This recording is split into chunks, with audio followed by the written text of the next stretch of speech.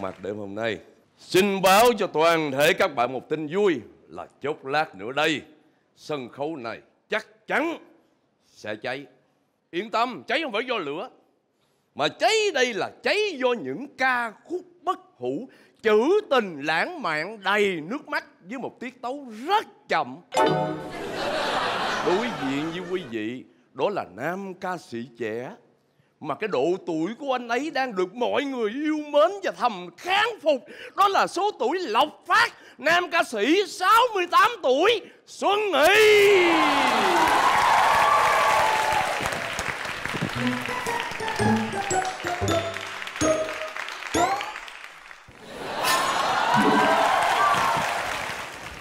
Kính thưa toàn thể quý vị. Kính thưa toàn thể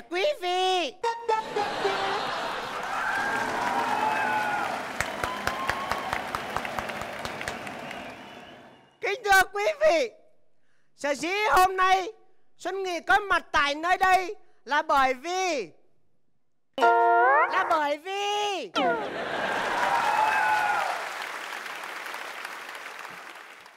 Hôm nay thì Xuân Nghị sẽ gửi đến cho quý vị một ca khúc đã gắn liền với tên tuổi của Xuân Nghị, đã đi vào lòng người bao nhiêu thập kỷ qua.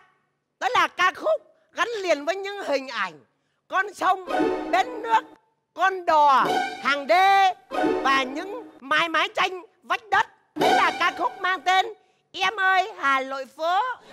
Cho tôi tông uh, si si dáng.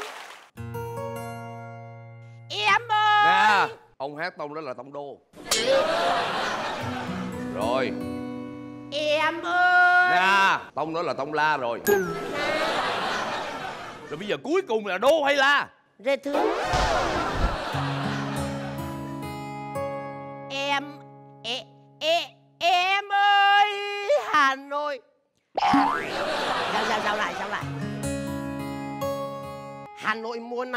vắng những cơn mưa. Sài Gòn đẹp lắm, Sài Gòn ơi, Sài Gòn ơi. La la la la la. La la la la la. Ơi, Huế của ta. Ta có Huế tự hào. Nghe Âu phân đi cơ Quy gia man.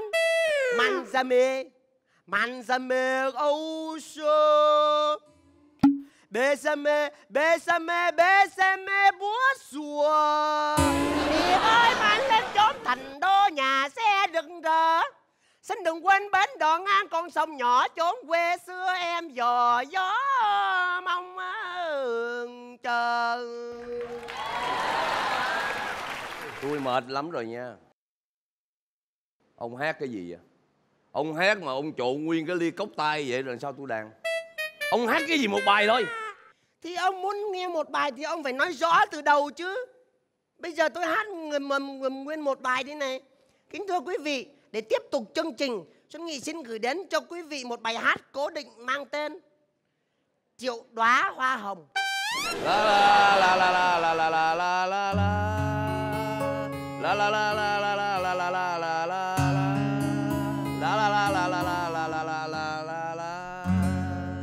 la la la la la la la la la la la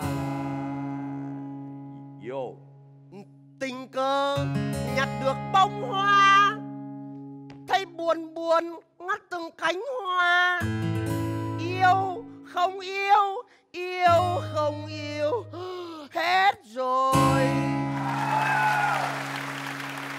Lại tình cờ nhặt bông hoa thứ hai Thấy buồn buồn ngắt từng cánh hoa Yêu không yêu? Hết rồi. Hoa thứ ba ngắt hoa ngắt hoa hết rồi. Hoa thứ tư ngắt hoa hết rồi. Bông hoa thứ năm hoa hết rồi. Bông hoa thứ sáu Thôi hết nha. rồi. Thứ bảy chủ nhật Thôi! hát cái kiểu gì mà kỳ cục? Ông giới thiệu cái gì? Chịu đó hoa hồng Ờ, rồi bây giờ ông hát qua bài gì rồi bây giờ đợi ông tìm từng đóa hoa, một triệu hoa rồi cho đến chừng nào. Bạn tôi, bạn thân. Đấy, tội nghiệp lắm. Bị con nó bỏ, bây giờ buồn tuổi như thế đấy. Thần kinh. Này, nam ơi. Này. Này, có nhận ra ai đây không? Tôi nghĩ này, sống từ bé đến lớn với nhau này nhớ không? Này tôi bảo nhá. à! Già rồi đừng có giận như thế. Tôi nói thật đi Ông giận như thế tôi giận lại đừng có trách nhá.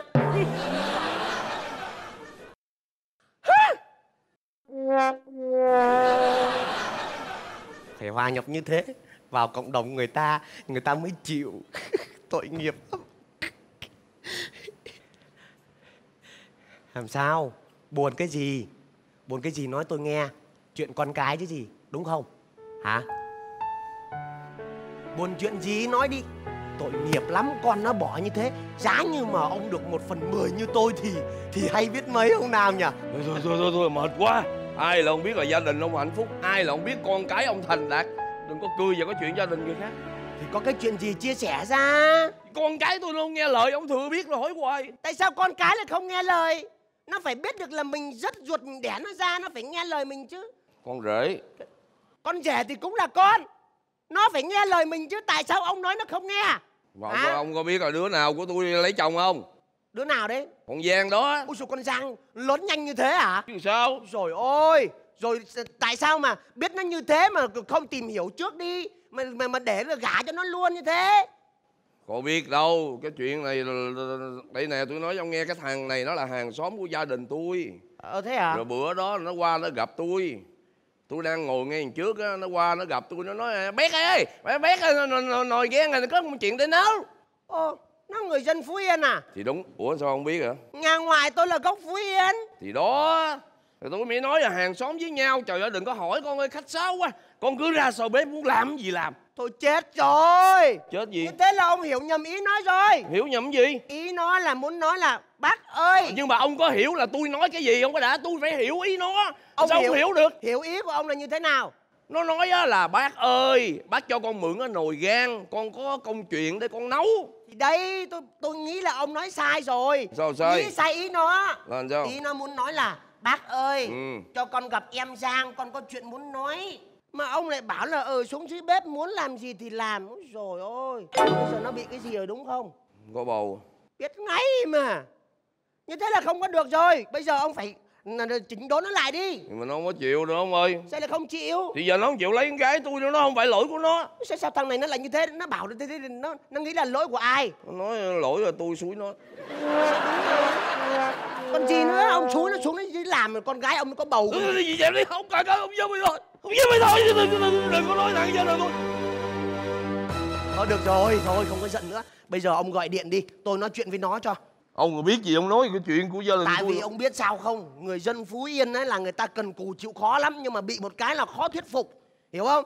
Chừng nào mà người mà người đồng hương á nói thì họa may ra phải ông, không ừ ông gọi điện đi tôi nói chuyện cho. Ừ. mà thôi để lấy, lấy, lấy điện thoại của tôi này lấy điện thoại của tôi gọi. Ờ, đọc số đi tôi tôi tôi, tôi bấm gọi cho. không chín không sáu. Đấy số 6 là số số lộc đấy số lộc là được đấy đọc tiếp. năm bốn ba hai một không. Sao nó tụt thế? Số khuyến mãi ờ, gì số cả. khuyến mãi cũng được gọi nhá. Ừ.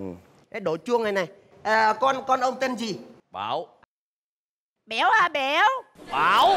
Béo à béo? Nó tên bảo. Giọng vùng miền nó như thế bảo hả bảo? Bẻo làm tôi nhầm luôn rồi. À, béo à béo? À, à bác là đồng hương với con đây. À đồng hương phú yên với con này con. Ờ biết lìa là bạn của của bé vợ con hả con? Ờ à, thân lắm thân với ông lắm thì con yên tâm đi à. ông tên gì? Ôi trời, ông là bạn tôi mà không biết tôi tên gì. Nam cái điên nem hả con? Ba giang á. Nem ông nem hả con? Nam nem à nam. Trong vùng miền nó như thế. Ông nem hả con Ừ. Con Dạo này Phú Yên sao rồi con? Hả? À bãi biển nó vẫn dài như xưa hả con? Biển vẫn nhiều nước hả con? Quá trời nước biển vẫn mặn hả con? Đang coi chuyện với tôi nha. Nè nè nè.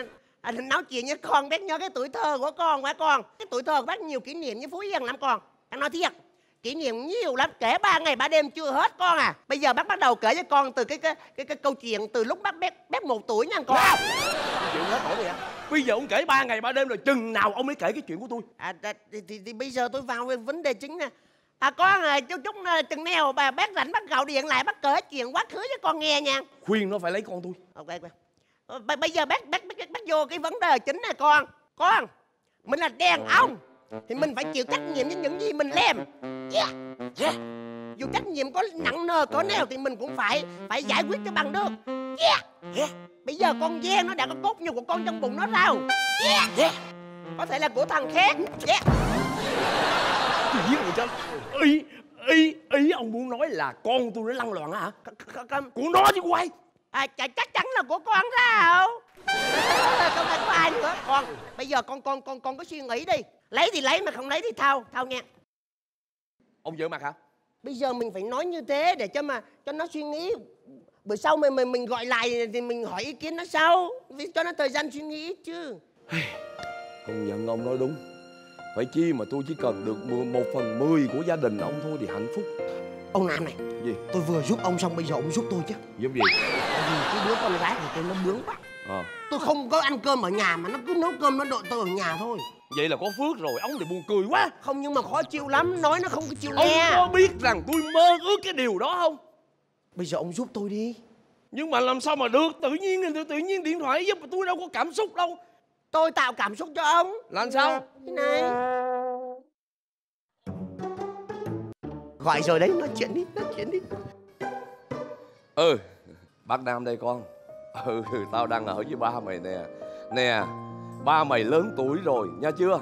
Cứ để cho mấy tự do làm gì mà bác bác nó nấu cơm mà chờ hoài. Nha nghe lời bác. Ừ. Sao sao sao rồi nó, nó, nó trả lời sao? Nó không chịu. Cái gì thế ông ông nó phải nói đó là, là, là ông ra đường ông ăn rồi an toàn vệ sinh thực phẩm không có đảm bảo nhỡ khi có chuyện gì rồi sao? Không ông ông phải thuyết phục nó cho tôi chứ cứ- để nó đợi cơm như thế nó nó không có được tự nhiên thuyết phục mà mà mệt mệt quá thôi. Thôi ông thuyết phục hộ tôi đi. À tôi có cách rồi. Con tôi tôi hiểu. Nó là nó nó nó nó, nó hay nghe lời những cái người nào mà tội nghiệp lắm. Bây giờ ông ông tỏ ra ông tội nghiệp vào là là nó sẽ nghe lời không? Có nghĩa là thương hại hả? Ừ đúng rồi. Thì nó mới nghe lời phải không? Đúng rồi để tôi kể chuyện con cái của tôi nghe là Để đi điên à? làm gì kể chuyện con cái làm gì chuyện của ông buồn như thế? Nhà ông có ai chết không? Tôi không giỡn mặt với ông nha. Không tôi nói thật mà. Bấm số rồi gọi đi. Này nghe đi nghe đi nghe lên ờ ừ ừ bác nam đây. Ừ để vậy nè con nha. Ai cũng thương cha thương mẹ. Bác cũng vậy. Ừ. ngày xưa bác thương mẹ bác lắm. Con à con nên thuyết phục ba đó ba, ba. trời đất ơi nhạc gì? Bây giờ ông đổi đi rồi sao tôi nói chuyện? Không có lại ông làm đâu thì anh làm bên ngành xây dựng. Hàng xóm ai mà không biết? Đúng rồi ở xóm này ai mà không biết ông đi làm thợ hồn? Gì vậy? Đổi nhà đi. Gì nói gì nói gì Em nói chuyện mà. Ờ, ờ ờ ờ không không gì con. Ừ đây nè. Đời tôi cô đơn nên yêu ai cũng cô đơn. Đời tôi cô Trường Giang thì hơi mớm mớm. Chú chưa có bạn gái. Trời ơi, chị là ngôi sao vi diệu. Nhạc ông đúng là vi diệu. À, thì- điên hả tại vì nó nó nhảy tôi đang nói chuyện mà nhạc mà nhúng của nó làm sao? Nó nhảy đĩa không biết. Alo con hả ba mày chết rồi vậy nha. Sao, sao, sao, sao lại nói như thế? Ông nói vậy đó. Không không sao, sao lại nói như thế? Nói như thế nó lo đấy. Nó Lo gì? nó, tại- sao ông lại bảo là là, là là là tôi lại chết? Tôi có bị làm sao đâu. Tôi, tôi, phải gọi lại cho nó chứ. Ý của tôi không phải như vậy ông hiểu không? Tôi chỉ cần ông chờ ông giúp. Mà ông giúp để làm gì? Hả? Ông tôi chỉ cần ông được một lần thôi. Ông được một lần thôi. Máy rồi. Đi lên lên. Lên ông làm cái gì đấy tôi đang nói chuyện với con tôi mà. Ông làm cái gì đấy? Hả?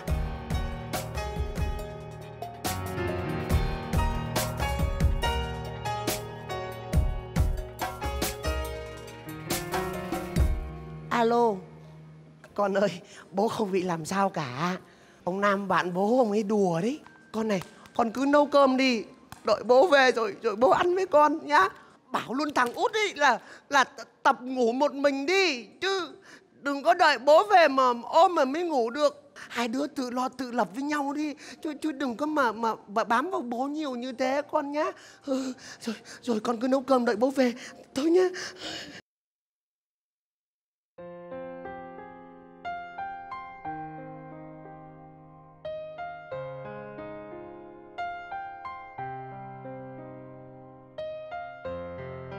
Con á hả? Dạ em chào ba Ba qua lâu chưa?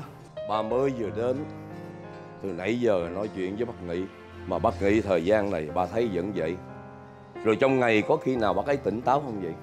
Dạ thưa ba Bác ấy trải qua một cú sốc quá lớn Về tinh thần Con nghĩ là cần một khoảng thời gian dài để điều trị Con cái của chú ấy đâu mà sao bỏ chú ấy bơ vơ vậy vậy ba Ba đã liên lạc được với lại con cái của chú ấy chưa? Lúc đầu á, ba nghĩ chắc là bọn nó do hoàn cảnh khó khăn rồi bọn nó mới bỏ ba nó như vậy. Nhưng mà khi đến nhà tìm được rồi, Bọn nó giàu lắm. Cuộc sống của một con người, Ai cũng phải có một mái ấm gia đình. Nhưng liệu mấy ai được hưởng chọn cái hạnh phúc đó? Con đi qua con chào bác ấy đi, nha. À anh nghĩ Nè, Nhận ra thằng nào không? Lớn nhanh thế nhỉ Trời thằng khởi con của tôi đây con gì mà con? Ờ, nè nè nè nè. Tôi á nha. Nha là tôi nghiêm túc phê bình anh nha. Nha. Cho dù nó là bác sĩ điều trị của anh nhưng mà nó là con cái trong nhà. Không có được coi nó là bác sĩ hiểu chưa? bác sĩ gì mà bác sĩ? Nó là con của tôi mà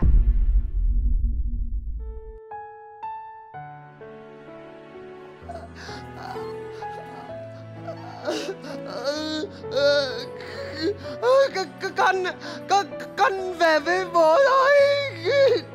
Con con con về với bố. Con con con đừng đi nữa nhá ờ, con con đừng trách ơi ối bị điên nữa.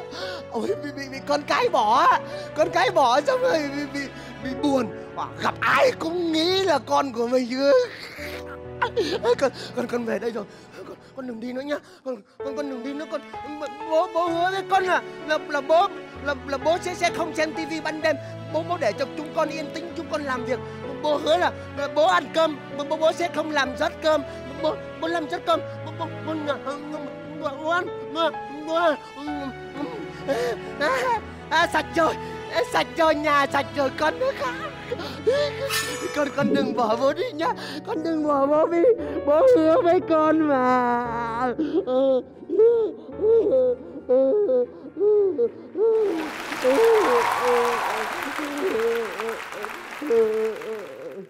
Mình tính ôm nó chừng nào để trời.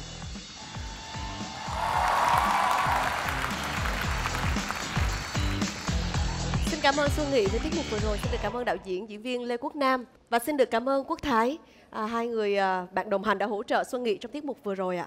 anh Nam ơi anh quá duyên dáng anh Nam phong độ anh vẫn như ngày nào. Anh vào những cái đoạn tâm lý bao nhiêu năm trời vẫn vậy không thay đổi gì hết. Rất là hay luôn anh Nam. Nghĩ quá may mắn khi có anh Nam hỗ trợ. Em là người giỏi người thông minh có duyên.